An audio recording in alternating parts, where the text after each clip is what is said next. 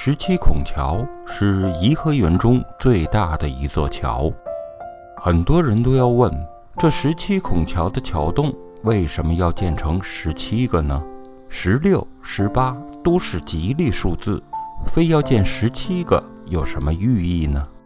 原来，过去封建帝王最喜欢的吉利数字并不是六八，他们最喜欢的是九，九被称为吉阳数。所谓九五之尊就是这样来的。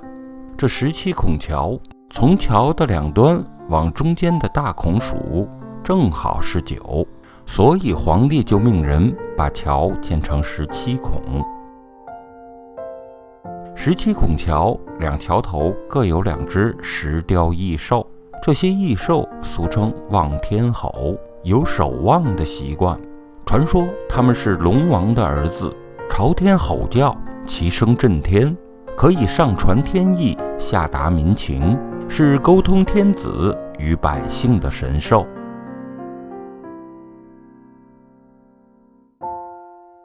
老北京有句俗话：“卢沟桥的狮子数不清。”但是十七孔桥上的石狮子虽然比卢沟桥上的石狮子出生晚，但数量却比卢沟桥多了几十只。总共五百四十四只。这些石狮子虽然伙伴比较多，但个个都长得清秀俊美，神态各异。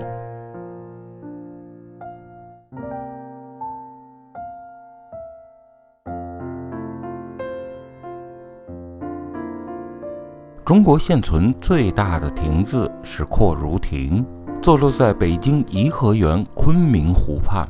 为中国古亭之冠，阔如亭建于乾隆时期，俗称八方亭，占地一百四十余平方米。亭有内外三圈，二十四根圆柱和根方柱。亭顶采用重檐攒尖的形式，造型舒展而稳重。阔如亭是中国古代园林设计师和建造师的智慧结晶。之所以建得这么大，是为了与西边有一定面积的岛屿和十七孔桥形成和谐对应效果。阔如亭虽然很大，但置身于这里显得完美，与岛屿、古桥、湖光山色相得益彰。阔如亭建造如此壮观，也是为了十七孔桥以西。龙王庙岛上高台上的楼阁亭台遥相呼应。阔如亭是北京所有亭中最大的，同时也是国内现存同类建筑之冠。昆明湖南部有出水口，慈禧从水路到颐和园时，先乘船由此进园，并在龙王庙烧香拜神后。再乘船到对岸乐寿堂去。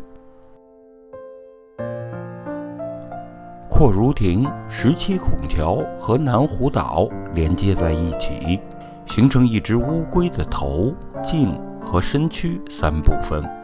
据说这是用乌龟造型来象征长寿之意。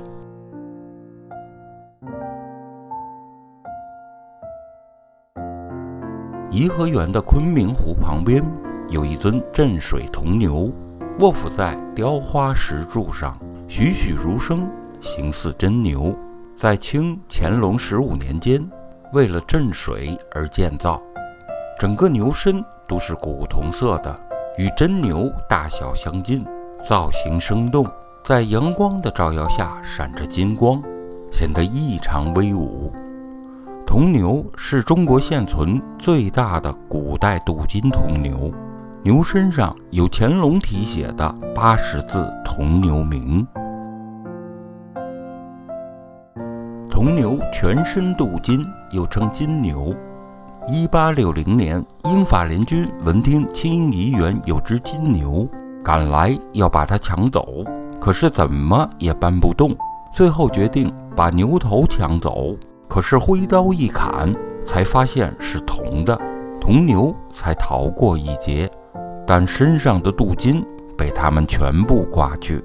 所以，我们现在看到的就是一只名副其实的铜牛。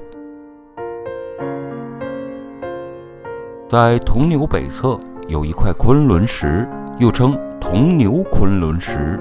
昆仑石上四面刻有乾隆御题诗句。